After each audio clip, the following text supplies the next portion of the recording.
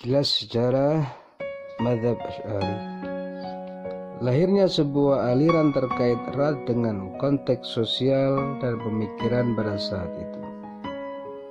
Begitu pula lahirnya Madhab Ash'ari Madhab teologis yang diikuti oleh mayoritas umat ahlu sunnah wal jamaah dari dulu hingga kini. Kita mesti meneropong konteks sosial dan pola pemikiran yang sedang berkembang yang melatar belakangi lahirnya madhab Asy'ari. Imam Abdul Hasan al-Asy'ari hidup pada paruh kedua abad ketiga dan paruh pertama abad keempat Hijriah. Tepatnya beliau lahir pada 260 Hijriah di Basrah, Irak. Periode tersebut menyaksikan berbagai peristiwa penting dalam bidang pemikiran yang memiliki pengaruh dominan dalam dinamika ilmu kalam secara khusus dan ilmu-ilmu keislaman pada umumnya. Di samping itu, periode tersebut dianggap sebagai masa keemasan ilmu pengetahuan Islam dengan meluaskan kebebasan berpikir di kalangan intelektual. Setiap orang berhak mengeluarkan pandangan dan memperkuatnya dengan berbagai kritik, landasan dan argumentasi. Klimaksnya, berbagai aliran pemikiran berkembang begitu pesat dengan meraup banyak pengikut dan pendukung yang membela dan mempertahankannya. Pesat, pesatnya perkembangan ilmu pengetahuan keislaman pada saat itu ditandai dengan tampilnya para ulama terkemuka dalam berbagai studi keislaman. Dalam bidang hadis, abad ketiga Hijriah menampilkan karya terbaik dan ulama-ulama besar yang menjadi rujukan pada saat umat Islam pada saat itu dalam bidang ilmu hadis sepanjang masa seperti Muhammad Idris Ismail Al-Bukhari. Tahun 1994 sampai 256 Hijriah. Atau kurang lebih 810 Masehi. Penulis Sahih Bukhari. Kemudian Muslim bin Al-Hajjaj Al-Kushairi An-Nasaiburi 204 sampai 206 Hijriah. Penulis Sahih Muslim. Abu Dawud Sulaiman bin Ashad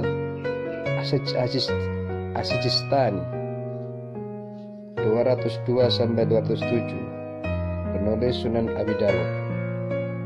Abu Muhammad Abu Isa Muhammad bin Isa bin Saurah At-Tirmidzi, penulis kitab Sunan Tirmidzi. Ada pula Abu Abdurrahman Ahmad bin Shu'aib An-Nasai, penulis Sunan An-Nasai. Abu Abdullah Muhammad bin Yazid bin Majah Al-Qazwini, penulis kitab Sunan Ibnu Majah dan lain sebagainya. Kitab-kitab mereka menjadi standar dalam bidang hadis dikenal dengan kutubus sittah. Dalam bidang fikih, tampil pula para mujtahid berkemuka seperti Daud bin Ali Asbihani 201 sampai 270 dari madhab Zahiri Muhammad bin Jarir At-Tabari pemilik madhab Jariri yang memiliki karya penting dalam bidang tafsir fikih, teologi, dan sejarah. Dari kalangan pengikut, mazhab Maliki tampillah Imam Isma, Ismail bin Ahmad 282 Hijriah. Dari kalangan Syafi'i tampil pula Imam Abu Ali Al-Karabisi Az-Za'farani 259 Hijriah Abul Abbas Ahmad bin Umair bin Suraij 306 Hijriah Abu Ishaq al-Marz al-Marwazi 340 yang menyebarkan madhab syafi'i di Irak dan Mesir dan pengikut dari pengikut Hambali tambil pula Abdullah bin Ahmad bin Hambal 213 sampai 290 Hijriah. Dalam bidang tasawuf, abad ketiga Hijriah merupakan masa kemasan perkembangan ilmu tasawuf. Pada saat itu mulai diperbincangkan aspek-aspek tasawuf yang belum pernah menjadi objek kajian dalam masa sebelumnya. Seperti pembahasan tentang seluk-beluk etika, adab, nafsu, dan suluk perjalanan spiritual sufi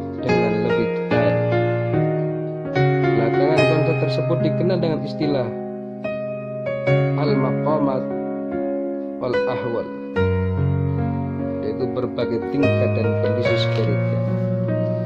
Kajian kaum sufi ketika itu mulai merambah pada persoalan makrifat dan metodologi.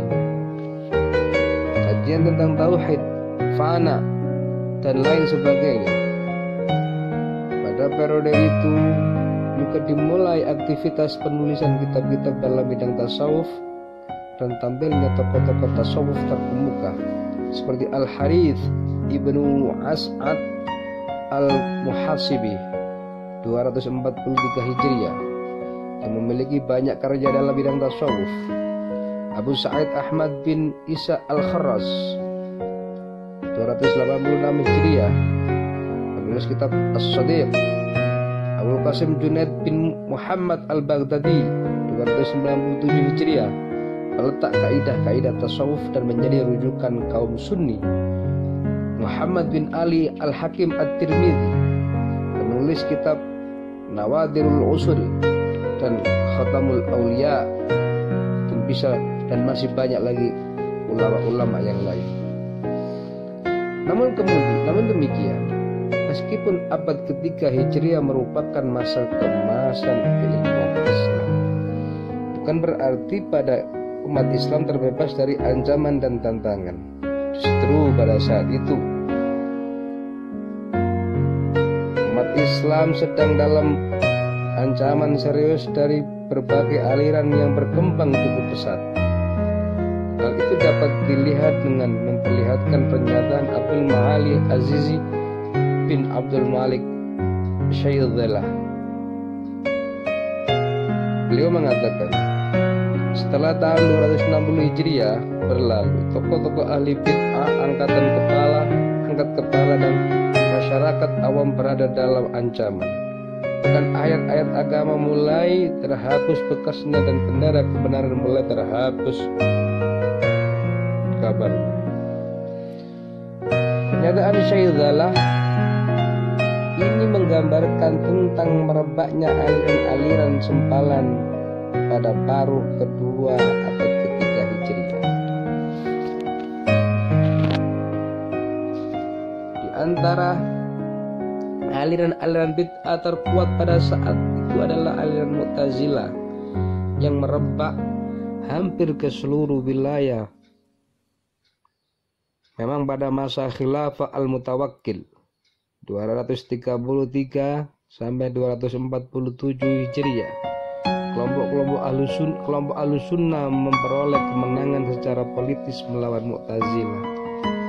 Pada tahun pertama pemerintahannya Al-Mutawakkil membuat keputusan penghapusan paham kemakhlukan Al-Quran yang diterapkan oleh tiga khalifah sebelumnya.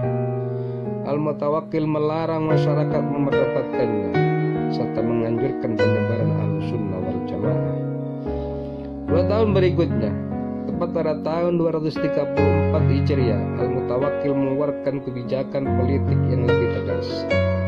Ia melarang membicarakan kemampuan Al-Quran dan mengancam orang yang membicarakannya.